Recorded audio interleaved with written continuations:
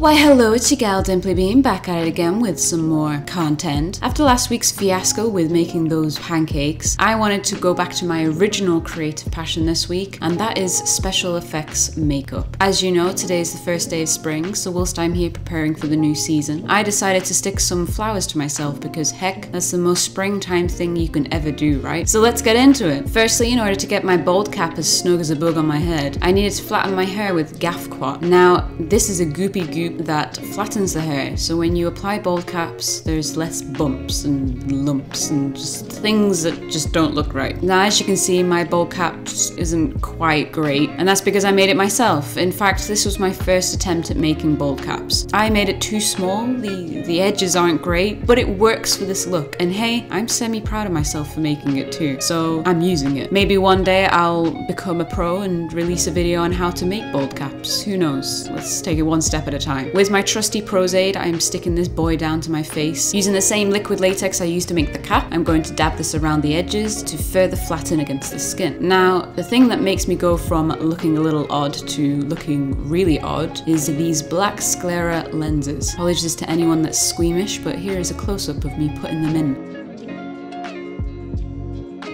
Now to the regular makeup part of this look, starting with your standard base makeup. I'm taking Ordinary's High Adherence Silicone Primer and thoroughly applying it to my skin. Then I'm going in with my EX1 Invisiwear Liquid Foundation. Doesn't matter which shade I'm wearing because you should all just pick whatever shade you think matches your skin tone. And I'm dabbing this around using my brand new beauty blenders. I recently got them off Amazon and no joke, they are the best ones I've ever used because makeup just seems to wash out of them. I'll stick a link down in the description as well for any of you that are interested. Now I'm using my e.l.f. 16 Hour Camo Concealer in around two or three shades lighter than my skin tone and just just applying this in an upwards motion under my eyes, on the bridge of my nose and on my jawline, and blending it out using my trusty beauty blender. Now that we're done with the liquid part, I'm going to use my e.l.f. Translucent HD Setting Powder and apply it all over my face using a lovely fluffy brush. Taking my Colourpop She's a Rainbow palette, I'm taking the shade Moonlight and I'm applying this to the inner corners of my eye using a fluffy eyeshadow brush. Next I'm using the shade Looking Fresh and applying this down my cheekbone. I'm then using shade shades Worth It and Big Sugar and using my blush brush and I'm just going to fluff this over my cheekbones, the tip of my nose and my cupid's bow. Topping the colours I'm applying the shade Starburst from my Anastasia Beverly Hills Sugar Glow Kit highlight palette over the same areas that I applied the pink tones as well as my inner eye corners. Finishing up the eye makeup I'm just curling my lashes, applying some mascara and sticking on some fluttery falsies. Next I'm taking my Stila lip glaze in Gleam, weird name name, and applying it to my lips, obviously. Onto the final step that turns this look from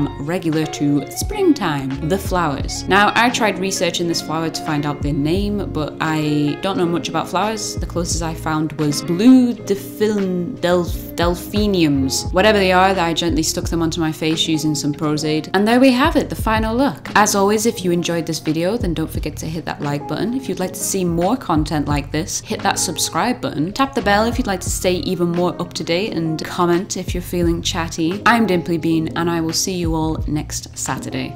Bye!